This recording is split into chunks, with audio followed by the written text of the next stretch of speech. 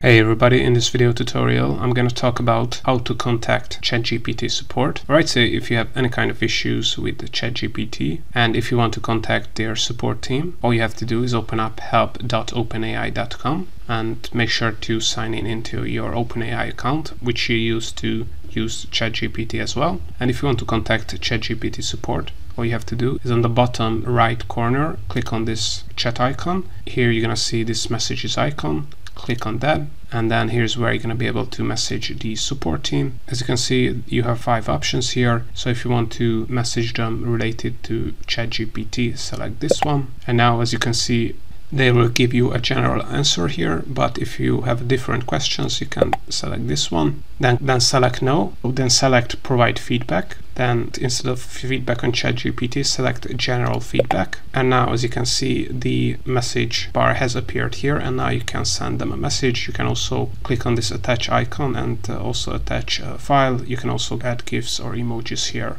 So this is how to contact the ChatGPT support team